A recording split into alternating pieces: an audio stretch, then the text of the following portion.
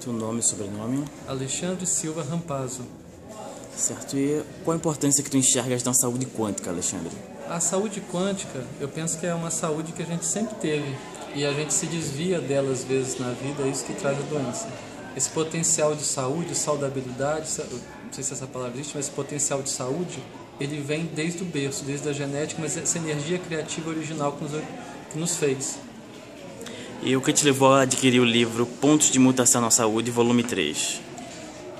É, eu penso que eu vim aqui por causa do Massaro Emoto, do Emite, mas encontrei uma linha de pessoas, uma linhagem de pessoas muito boa.